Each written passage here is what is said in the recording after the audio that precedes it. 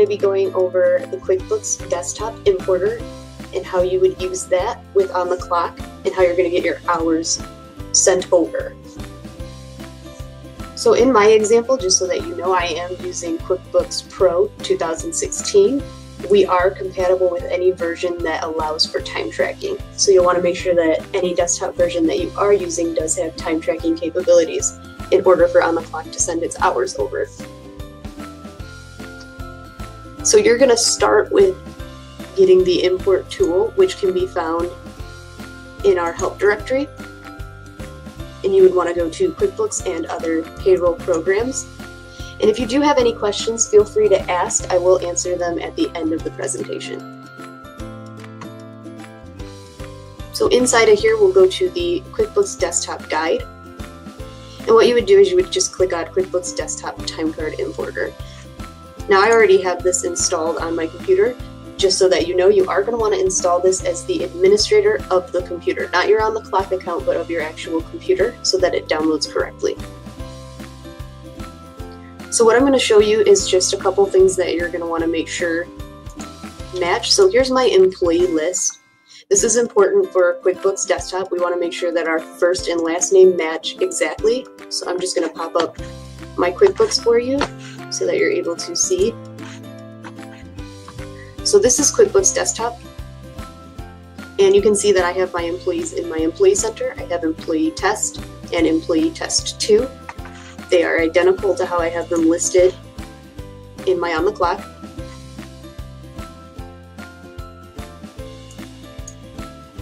And then I'm going to go over to my time cards. Okay, so I've entered in some information. You'll see that I have my total hours, my regular hours, overtime hours, and some vacation hours in this very, for example purposes. We do want these to stay default. Um, in OnTheClock, you are able to actually change these names. However, for QuickBooks Desktop, you want to make sure that this has no edits in it and that everything is exactly how you see it here. We can only import default names.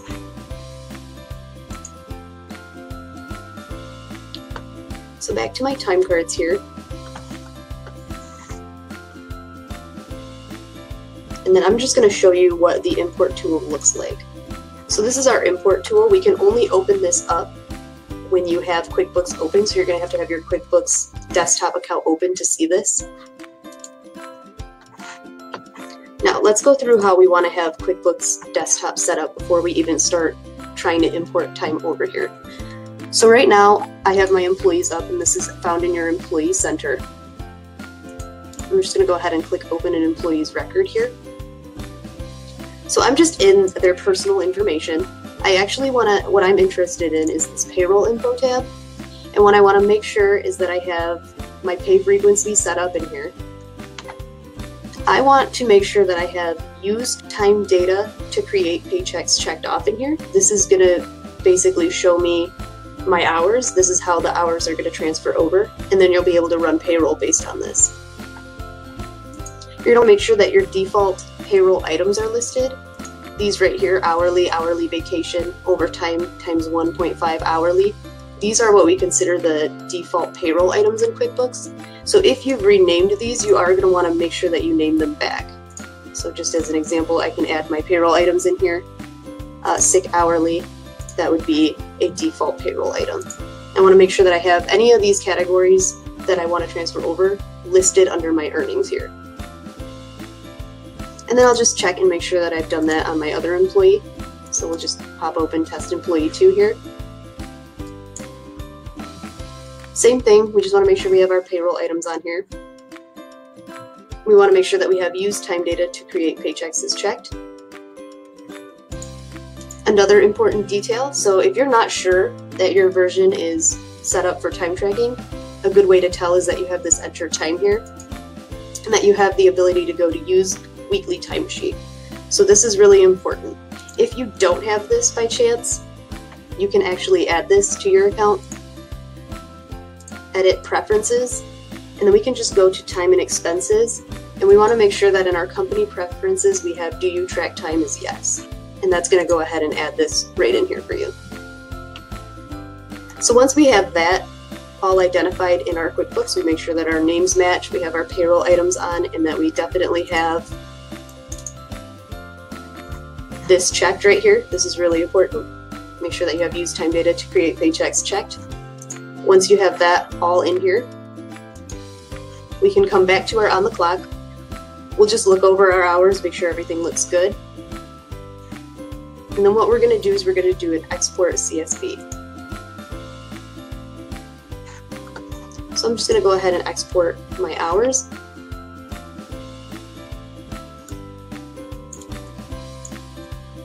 And then you'll just save that wherever you'd like on your computer, essentially.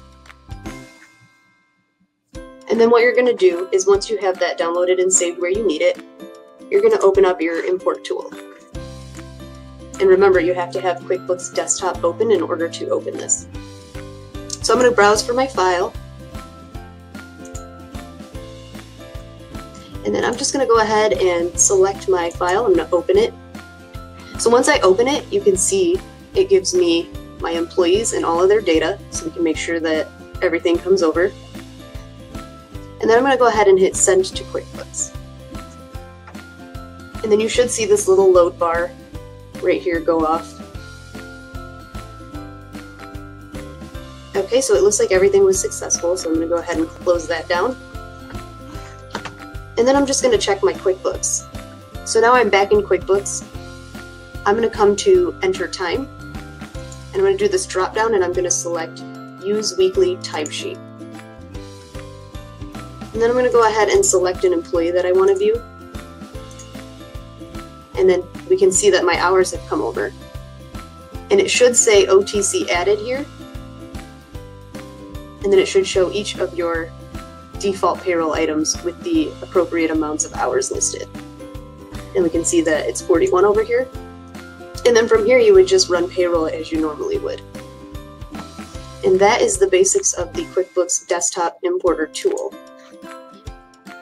Were there any questions that anyone had that I could answer that are specifically about the import?